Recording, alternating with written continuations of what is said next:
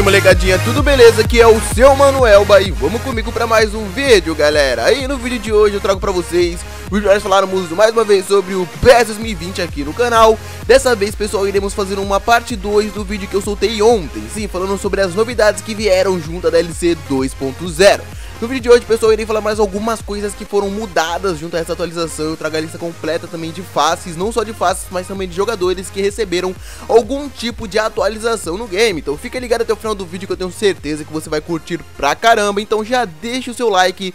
Também se você é novo, cara, seja muito bem-vindo e já faça a sua inscrição. É só aqui que você vai ver todos os tipos de conteúdo de Pro Evolution Soccer, todas as informações na hora exata. Então se inscreve aqui abaixo e vamos que vamos.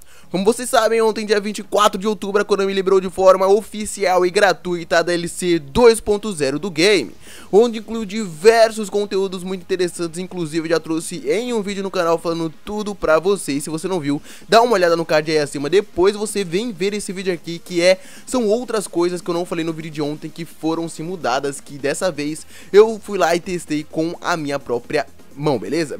Eu também pretendo trazer um vídeo falando sobre o que mudou na jogabilidade, que eu ainda não pude jogar muitas partidas para formar uma opinião concreta, beleza? Então vamos lá falar mais alguns conteúdos que vieram junto a essa DLC 2.0, que para muitas pessoas foi uma DLC bem decepcionante. Eu vi muitas pessoas aqui nos comentários falando que em conteúdo ela foi bem decepcionante, não incluiu muitas coisas, tipo, muitas coisas muito diferentes do que todos nós já estamos acostumados a receber sempre, porém, teve muitas modificações na jogabilidade verdade, eu ainda não joguei, mas eu pretendo sim jogar, tirar umas 5 ou 10 partidas para formular uma opinião e trazer em um vídeo para vocês. Segundo muitas pessoas, a jogabilidade agora tá o fino, cara. Então vamos ver se isso realmente é concreto ou é só papinho furado, né, pessoal? Então vamos lá.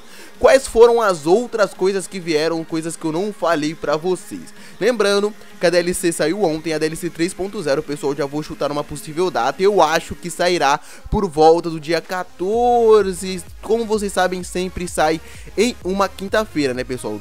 Sempre costuma sair em uma quinta-feira. Então eu acho que deve sair ou dia 4 ou dia 11 de dezembro, ok? Deve sair por essas duas datas a DLC 3.0. Isso é só um chute mesmo, não temos nada concreto, mas se não sair durante essas datas, deve sair uma ou duas semanas depois, então fiquem tranquilos.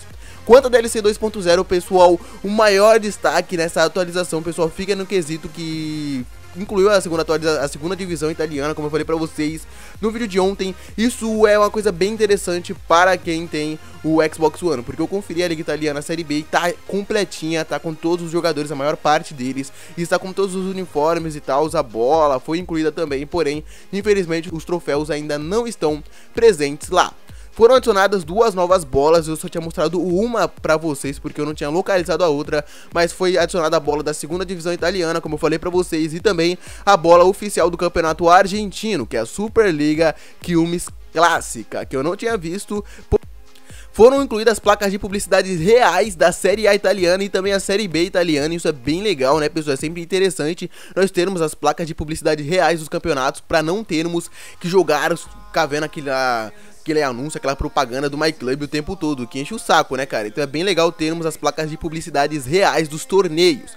Também foram incluídos troféus da Série A italiana, que não tinha, assim, não tinha o troféu da Série A italiana, que foi incluído, e também da Russian Premier League, que é a Liga Russa. Também teve a inclusão de seu troféu oficial e 100% licenciado. A transição oficial também da Liga Italiana também foi inclusa, ou seja, não tínhamos a transição de uma cena para outra e agora ela está presente sim no game. Infelizmente a Série B italiana não temos essa transição presente, mas a Série A italiana sim.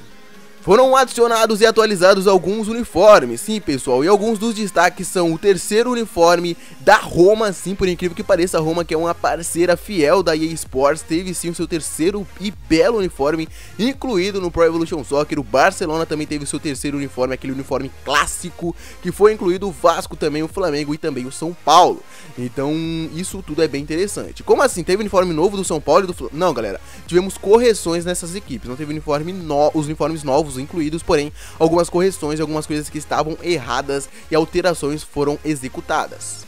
Quanto à atualização dos elencos brasileiros, pessoal, eu só tinha a informação anteriormente, como eu não tinha aberto o né, pessoal? Só tinha informação de que algumas transferências haviam sido ocorridas, porém, não tinha a informação de quais elas é, ocorreram, de quais elas aconteceram. Porém, pessoal, o Fluminense, que antes da DLC era o único clube que era lotado de jogadores genéricos, agora além de contar com jogadores licenciados, o elenco também foi atualizado na medida do possível. Vocês estão aí na tela com o elenco atual após essa atualização, com o Nenê já lá presente, Nenê que deixou a equipe do São Paulo e foi sim atualizado e agora está na equipe do Fluminense. Então, a maioria das transferências que ocorreram na vida real, eles também tentaram colocar e fidelizar elas no game. Então isso é bem interessante. O Fluminense ocorreu bastante alteração após essa DLC 2.0, com muitos jogadores virando licenciados e também com algumas transferências que foram executadas alguns dos times que ficaram mais completos e atualizados, como foi o caso do Santos e também do Botafogo, pessoal, que muitos jogadores foram incluídos. Isso é bem interessante e bem legal, né, pessoal? O Santos agora está quase completo com todos os seus jogadores, faltando um ou outro apenas. Então isso é bem interessante.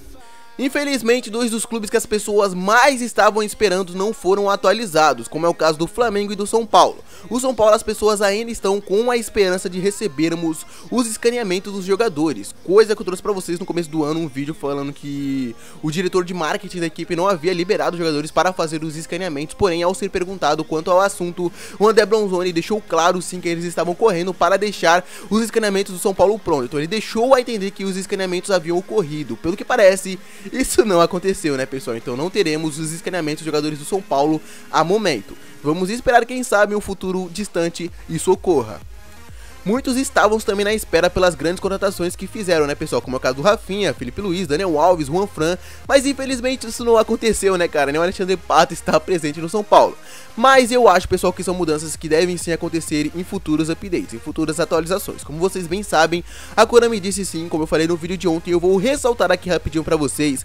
A Konami falou que o Brasil não faz parte do update semanal, que é aquela atualização que sai todas as quintas-feiras, onde eles fazem aquelas atualizações ao vivo, onde corrigem sim, aos poucos, na medida do possível, os elencos dos campeonatos europeus e também dos campeonatos, alguns campeonatos aqui sul-americanos.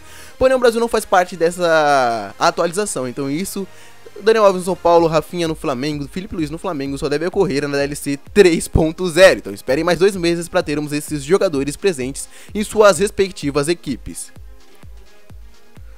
E vamos falar sobre faces barra jogadores que foram atualizados. Não iremos falar apenas sobre faces, mas iremos falar também sobre tatuagens, sobre estilos que foram corrigidos, sobre corpos dos jogadores, sobre player, ID, então vamos falar sobre muitas coisas, porque ao todo foram atualizados um total de 111 jogadores. Muitos dessa atualização, né pessoal, são retorno de faces de pés anteriores, que não são novas faces, mas são, são faces que não estavam no PES 2020 até então. E após a DLC 2.0 eles recuperaram, eles foram lá e pegaram as faces que estavam presentes em jogos anteriores e incluíram agora. Tem faces sim que merecem sim, mas porém tem faces que são muito estranhas, que merecem uma nova. Deve-se ressaltar que essa atualização também, pessoal, pode significar a adição de face, uma mudança ou quem sabe um ajuste de textura, adição de acessório e tal, como o de bala, né, pessoal, que recebeu uma pulseira vermelha no braço direito, como vocês estão vendo na tela após a DLC 2.0. Essa pulseirinha foi incluída e também é constada como uma atualização de jogador.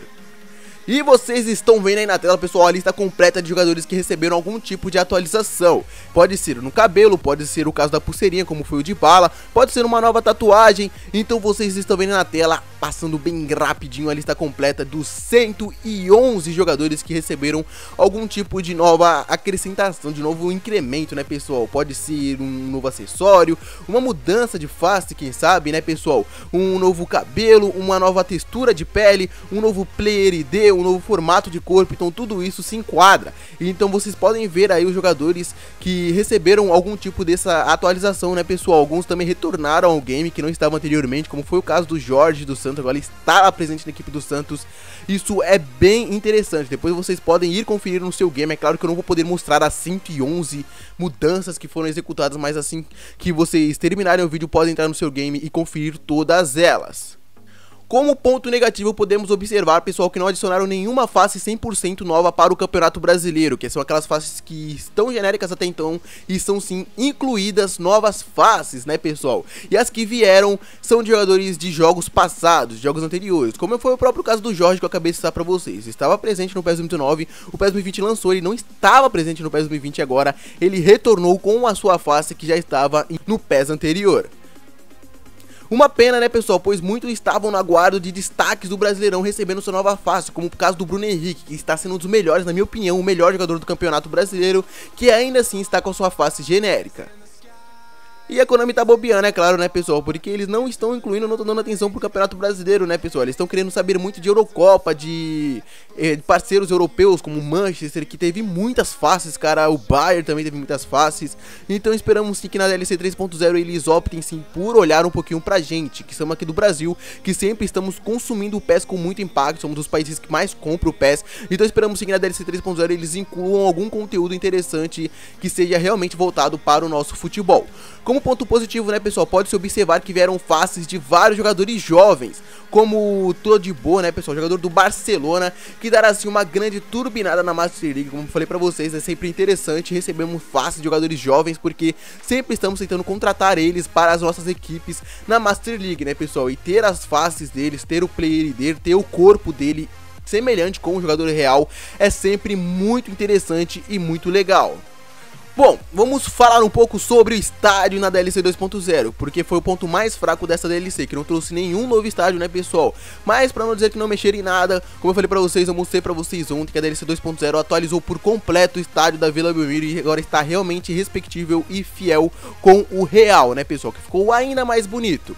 Outros estádios, outros estádios também que receberam algum tipo de atualização, que foram pequenas, não comparadas ao da Vila Belmiro, foram sim o estádio do Arsenal, o Emirates Stadium e também o estádio do Colo-Colo. Esses dois estádios também, eu não trouxe no vídeo de ontem essa informação, mas esses dois estádios também receberam algum tipo de atualização, né pessoal? Seja na arquibancada, seja no gramado ou coisa do tipo. Bom, pessoal, eu acredito que eu trouxe pra vocês todas as informações. Lembrando, se você não viu o primeiro vídeo, que eu faço um vídeo mais completo mostrando de fato tudo que veio nela, né, pessoal? Hoje foi uma parte 2, foi um vídeo falando mais outras coisas que eu não tinha percebido, que você também provavelmente não tinha percebido, né, cara? Que foram alterações que também foram feitas na DLC 2.0. Eu acho que a única coisa que falta eu falar é sobre a jogabilidade. Eu mostrei no vídeo de ontem as modificações que foram feitas na nota oficial da Konami, porém eu ainda não testei na prática.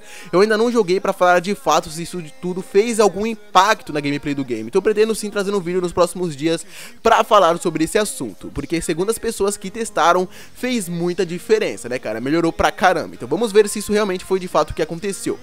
Bom, eu vou ficando por aqui, espero que vocês tenham curtido o vídeo de hoje. Não esqueça de deixar o seu like e também de se inscrever no canal para não perder mais absolutamente nada de tudo que eu tenho pra trazer pra vocês. Lembrando que todas as fontes vão estar aqui na descrição, então dá lá uma olhada, não perca. E deixa o seu like, se inscreve no canal para não perder mais nenhum vídeo, porque nos próximos dias eu pretendo rechear vocês de muitos conteúdos de PES e FIFA. Bom pessoal, vou ficando por aqui, até a próxima eu falou!